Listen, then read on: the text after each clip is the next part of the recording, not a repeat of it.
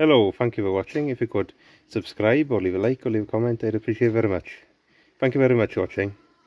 So uh, I made this, um, this is my latest uh, scrap bin sort of rubbish bin project. So that um, feed bag, feed bin I made before, I'll put a link here, you know, one I made out of oil tank. It had these um, stiffeners in it or struts in it, uh, made out of angle iron. So I cut those out so we can actually put a bag inside it. So this is one of the angles there, uh, it's quite thin angle. And these are old um, bale wrap tubes, you know, plastic tubes inside.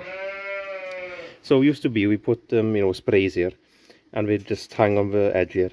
So as we are moving sheep before, if you would hit against this um, um, uh, sheet then, it could send uh, these sprays falling down. So I want to make something safe then. So um, I bent the side, so this is bent in and I've put a screw, one screw there to hold it there and I've bent it in and behind the girder here so you won't hit anything sharp as you're coming in the door there. And um, then I've uh, put the, these inside then and I've drilled them and put these little um, self-tapper screws in so these are solid you know they're not going anywhere. So I made a few of them like this for sprays and a gel here and I've cut a few of them in half and well, cut them at the angle then, so uh, you can put smaller stuff in. And I've left a gap here, because uh, this iodine spray won't actually fit inside one of these, so it uh, can sit here then.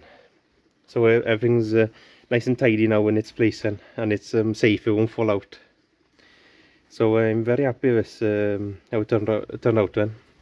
And if I don't take it off again, there's only one screw take off and it'll come out then. And I can transfer it to somewhere else. So um, hasn't cost me anything really. Uh, I had this angle you know uh, laying about and these are um, rubbish anyway. I have a few there's enough of these then.